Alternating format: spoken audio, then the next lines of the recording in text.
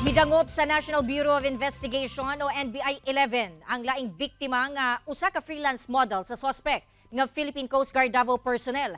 Kinsa daan ang gireklamong ng lugos sa usasab ka model ni atong Lunes. Ani ang report.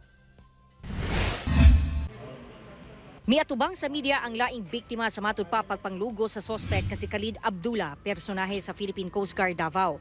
Kinsa nadakpan sa entrapment operation sa NBI 11 ni atong Sabado. Si Abdullah gipresenta sa media ni atong Lunes tungod sa reklamong pagpanglugo sa 21 anyos nga model nga si alias Jane niadtong April 18. Human kini mabalita nagreklamo usab ang laing na biktima nga 23 anyos nga usapod ka freelance model. Itago nato siya sa ngalan nga Grace. Sa isay niya, gisundo daw siya sa sospek kinsa nagpailang general sakay sa usa ka kotse November 29 sa gabi sa miaging tuig human na patuong kuhaon siya nga model sa usa ka kasino sa syudad. Girefer rasab daw siya sa iyahang kaila sa maong sospek. Kalitra daw kining miingon nga dili na madayon ang pag-hire kaniya isip model sanglit himuon na lang daw siyang asset sa kuno by bust operation sa indangan. Anak, nag-explain ko nga, wala mo ko'y giloko na tao, sir. Anak ko. Karon nagkuha siya, nasi gikuha siyang bag. Ya, itutukan ko niya pusil. Pagtutok niya sa pusil, gipabalin ko niya sa likod sa sakyanan. Dili ko makasyagit kay walay tao. Ngit-ngit kay palibot, walay balay. Yagyulga ko niya, kapat yun ko niya. Kawan dito ko niya gihalay sa likod sa sakyanan. Dugay daw siya nagkareklamo tungod sa tumang kahadlok. Ito gihatod ko niya sa pick-up area kung asa ko niya gikuha.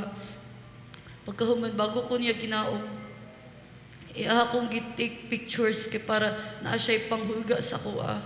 Nga kung musumbong ko, iyang hilabtan akong pamilya. Parayon pa po ang investigasyon sa NBI sa posibleng kalambigitan sa suspect sa rape cases sa Davao del Sur. If the crime was committed twice already, there is a sequence so we can see it's a serial offense. There is some uh, some uh, problem with his behavior. Maybe this guy is not as uh, is not really acceptable to women, but so he, he hides his inadequacy through what? Through intimidation to perpetrate her sexual, his sexual perversion.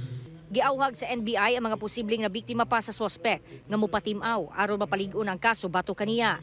Ang sospek mag-atubang og kasong paglapas sa Republic Act 8353 o ang Anti-Rape Law, Republic Act 9208 kun Anti-Trafficking of Persons, Republic Act 10591 o illegal possession of firearms o usurpation of authority.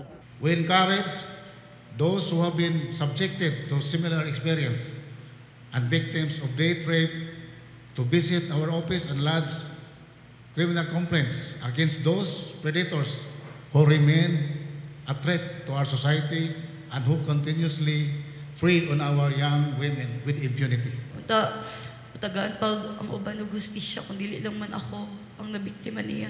Kauban si Jojo Solarte sa kamera. Ako si John D. Esteban para sa At Home with GMA Regional TV.